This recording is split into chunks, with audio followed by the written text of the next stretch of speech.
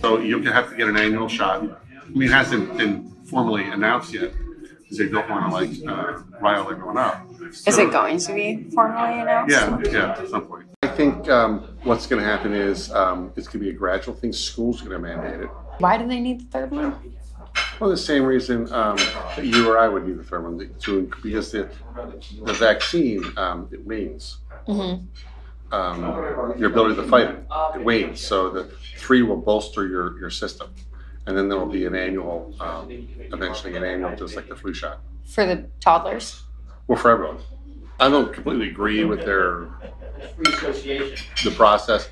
They're looking at trying to inoculate um, um, kids under five years old, between six months and five years old. What do you mean you don't agree with the process? Well, I mean, they um, they don't have all the all the tests aren't there.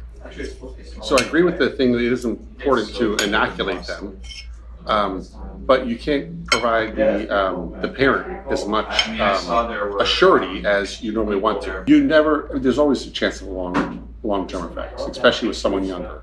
There's almost a billion dollars a year going into FDA's budget from the people we um, regulate. If they can get every person required at an annual vaccine, that is a recurring return of um, uh, money going into their, their company.